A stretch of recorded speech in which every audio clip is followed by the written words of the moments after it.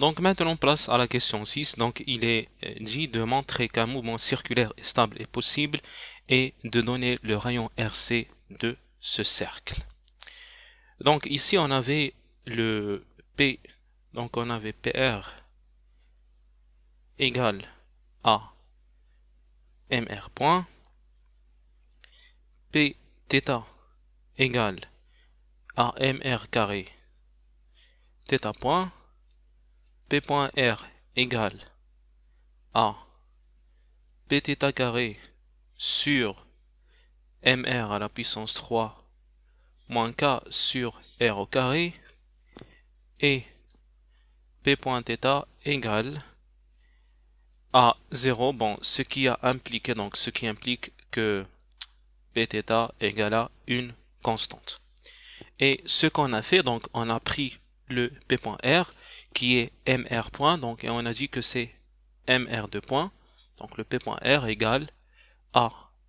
Donc, on trouve P θ carré sur MR à la puissance 3 moins K sur R au carré. Eh bien, dans le cas d'un mouvement euh, circulaire, donc un mouvement circulaire, mouvement circulaire implique tout simplement que notre rayon il est constant, donc R égale à R, euh, bon, on va, dire que c'est RC égale à une constante. Donc ce qui implique que cette équation-là va devenir P au carré sur MR à la puissance 3C moins K sur R au carré C égale à 0. Bon, on va euh, remplacer tout simplement P θ par son expression. Donc on va trouver ici m carré, r c'est à la puissance 4, θ point au carré. Donc ce euh, θ point au carré, donc je peux dire que c'est θ point 0, donc c'est ce qu'on a vu précédemment. C'est une constante. Donc je vais avoir ça.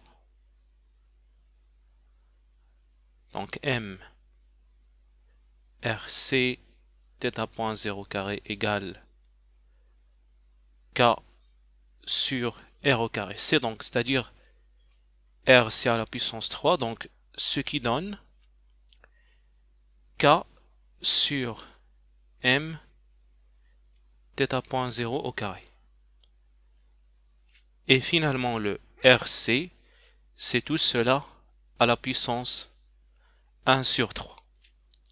Bon, c'est ça le l'expression de notre rayon en toute simplicité. Donc j'espère que cet exercice était clair. Merci pour votre attention.